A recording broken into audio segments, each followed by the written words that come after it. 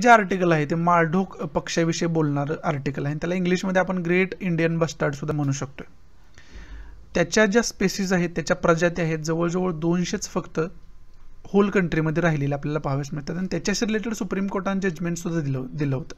आणि ती केस कोणती होती? M K S Ranjit Singh and others versus union of India and others या जजमेंटमध्ये सुप्रीम कोर्टाने हे सांगितलं होतं की अशा प्रकारच्या ज्या इंडिया इन इंडेंजर्ड स्पेसीज होत चाललेल्या आहेत धोक्याच्या कॅटेगरीत स्पीसीस म्हणजे होत चाललेल्या आहेत. रेअर स्पीसीस म्हणजे तुरळक होत चाललेल्या असल्या ज्या प्रजाती आहेत त्यांना आपण प्रोटेक्ट करायला पाहिजे असं त्या जजमेंटमध्ये सांगितलं होतं.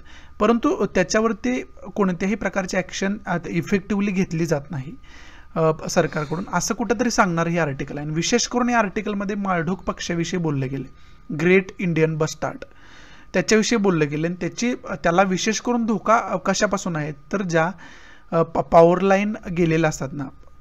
ज्या लाईटच्या केबल वगैरे गेलेल्या असतात त्याच्याकडून त्या पक्षाला खरं तर धोका आहे. विशेष करून जे मिनिस्टर ऑफ पॉवर आहे पॉवर रिलेटेड मिनिस्टर आहे त्यांनी सुद्धा अशा प्रकारचं ॲफिडेव्हिट दाखल केलं गेलं होतं. नोटीस काढली होती की अशा प्रकारच्या पक्षांना प्रोटेक्ट करण्यासाठी आपलं ज्या केबल्स आहेत त्या या पक्षांना विचारात घेऊन टाकल्या गेल्या पाहिजेत. म्हणजेच काय? तर यांना फ्रंटल लाईन फ्रंटल विजन नसतं यांना. म्हणजे समोरचं दोन्ही राईट अँड लेफ्टचं व्यवस्थितरित्या हे पक्ष पाहू शकतात. परंतु समोरचं पाहू शकत नाहीत तेवढे इफेक्टिव्हली त्यामुळे त्यांना अशा प्रकारच्या केबल दिसत नाहीत किंवा त्यांना विजन होत नाही आहे त्या केबलचं त्यामुळं खरं तर यांना करंट लागून वगैरे हे जे माळडोक पक्ष आहेत ते जास्त मरत आहेत. त्यांचे किलिंग जास्त प्रमाणात होत आहे.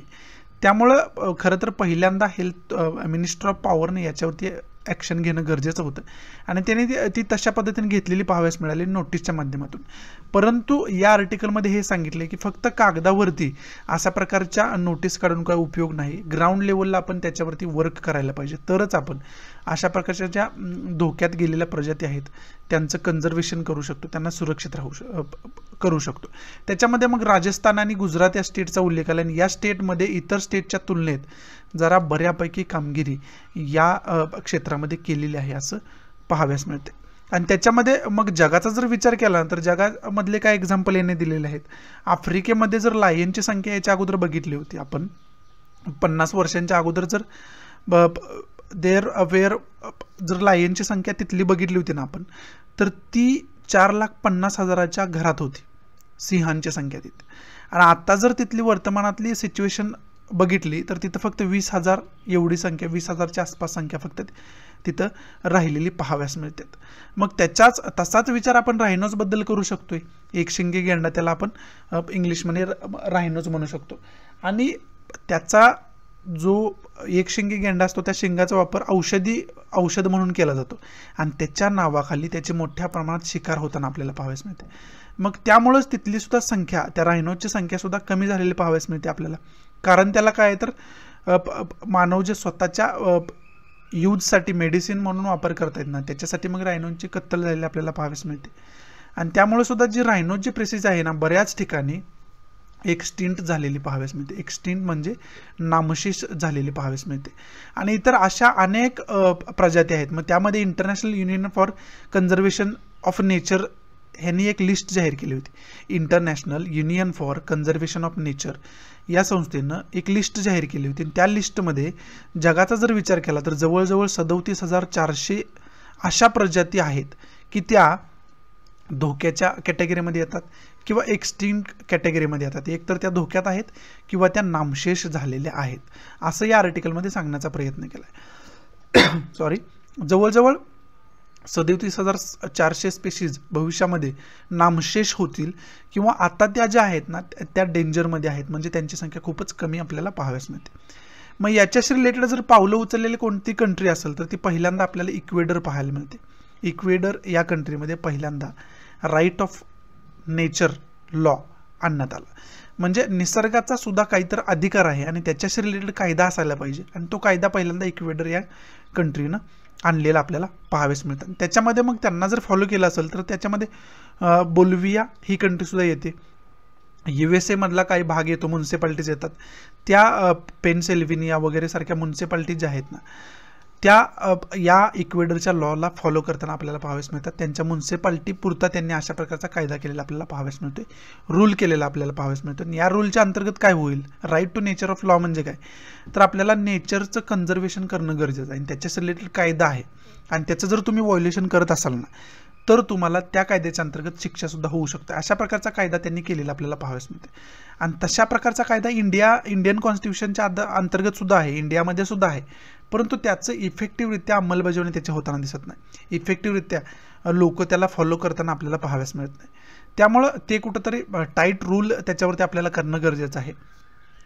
इफेक्टिव्ह रूल त्याच्यावरती आपल्याला करणं गरजेचं आहे. तरच आपण नेचरला कन्झर्व करू शकतो नेचरला सुरक्षित करू शकतो. नेचरला सुरक्षित करणंच म्हणजेच काय? तर नेचरशी रिलेटेड जे काय जीवजंतू आहेत पक्षी आहेत त्यांनासुद्धा आपल्याला कन्झर्वेशन करायचं त्यांचं कन्झर्वेशन करणं इन्व्हायरमेंटचं कन्झर्वेशन करणं त्यालाच आपण नेचर कन्झर्वेशन म्हणू शकतो. निसर्गाचं सुरक्षिततीकरण आपण म्हणू शकतो. जसं की आर्टिकल ट्वेंटी वन दिले ना आपल्याला. आर्टिकल ट्वेंटी वन काय सांगतं आपल्याला? लाईफ अँड लिबर्टी आपल्याला जीवित राहण्याचा अधिकार आहे मानवाला.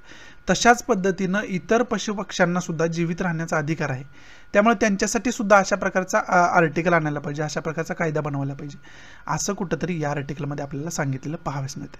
मग याच्यामधून आपल्याला पहिला की पॉईंट काय घ्यायचा आहे? तर जजमेंट जे सुप्रीम कोर्टाचं हे जजमेंट मी आता तुम्हाला सांगितलं. ते जजमेंट आपल्याला डिटेलमध्ये माहिती असणं गरजेचं आहे. पहिला पॉईंट दुसरा की पॉईंट काय तर ग्रेट इंडियन बस्टार्डविषयी डिटेल इन्फॉर्मेशन आपल्याला असायला पाहिजे. माळढोक पक्षी जो आहे त्याची डिटेल इन्फॉर्मेशन आपल्याला असायला पाहिजे. तो कुठं आढळतो? आणि त्याची बाकी काही इन्फॉर्मेशन असेल ती डिटेल इन्फॉर्मेशन आपल्याला असणं कुठंतरी गरजेचं आहे. तिसरं महत्त्वाचं काय तर इथं इक्वेडरचा उल्लेख आला आहे बोलिव्हियाचा उल्लेख आला आहे त्याचं लोकेशन आपण बघून ठेवणं गरजेचं आहे. आणि त्यांनी जो right to nature of law जो आणला आहे ना right of nature of law जो आणला आहे ना तो डिटेलमध्ये आपल्याला त्याच्यामध्ये काय काय तरतुदी त्यांनी केले गेले आहेत असं आपल्याला त्याचे डिटेल इन्फॉर्मेशन असायला पाहिजे. हा तिसरा पॉईंट आपला आहे की पॉईंट चौथा की पॉईंट आपला काय तर चौथा की पॉईंटमध्ये लायनची संख्या इथं लायनविषयी बोललं गेलं मग भारतामध्ये सिंह कुठं कुठं आढळतात? जर आढळत असतील तर. आणि जगामध्ये कोणकोणत्या फॉरेस्टमध्ये सिंह आढळतात हे याचे डिटेल इन्फॉर्मेशन आपल्याला कुठेतरी असणं गरजेचं आहे. दो पाचवा की पॉईंट काय? तर रायनोजविषयी बोललं गेलं एक शिंग गेंड्याविषयी बोललं गेलं. मग ते भारतामध्ये कोण कोणत्या क्षेत्रामध्ये आढळतात ते सुद्धा आपल्याला बघून ठेवणं कुठंतरी गरजेचं आहे. आणि सहावा की पॉईंट आपला काय आहे?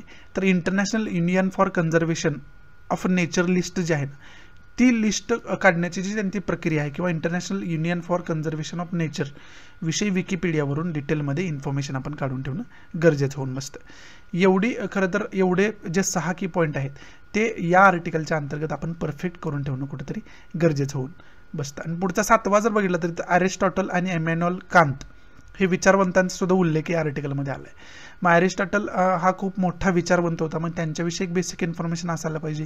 इमॅन्युअल कांत हे खरं तर सोशलॉजिस्ट म्हणून ओळखले जातात. म्हणजे सोशॉलॉजिस्ट म्हणून त्यांची ओळख आहे त्याच्यामध्ये त्यांचे विचार खूप फेमस आहेत. त्यामुळे इमॅन्युअल कांतविषयी सुद्धा डिटेल इन्फॉर्मेशन आपल्याला कुठेतरी असणं गरजेचं होऊन बसतं. एवढंच या आर्टिकलमध्ये महत्त्वाचं आहे. पुढचं महत्त्वाचं आर्टिकल कोणतं आहे ते बघूया